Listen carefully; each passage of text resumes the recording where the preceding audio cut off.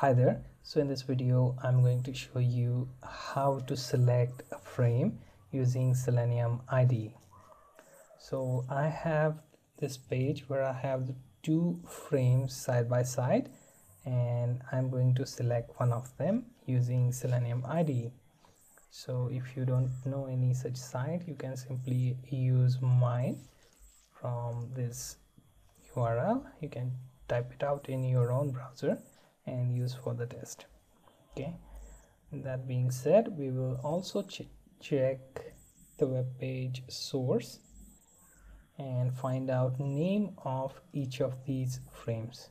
So frame one has name slider because it loads slider website and frame 2 name is example because it loads example.com okay. So we are going to use that in our test now.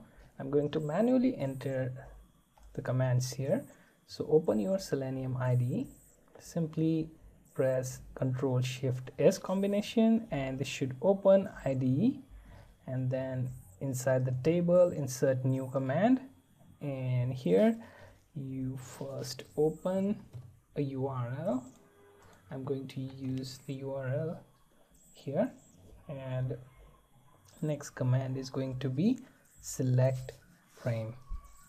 So add new command and then type in select frame. And for the name we simply use example okay? And click on button find so that it will flash and select below okay? So this is the second frame that we are going to select. Now simply click on play entire test suite and see what your test returns. Okay so test runs positively no failure. And inside log we will find test case passed test suite completed one played all passed.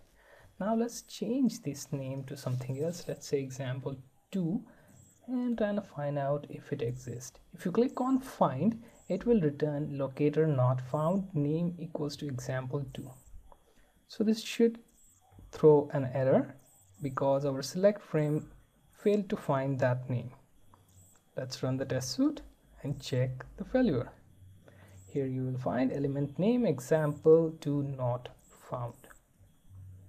So basically in first command we tried to find out the correct name of our frame and in second we purposefully change the name to fail the test. So using select frame you can select the frame and perform any additional operation on these frames. So i hope you find this video helpful. Thank you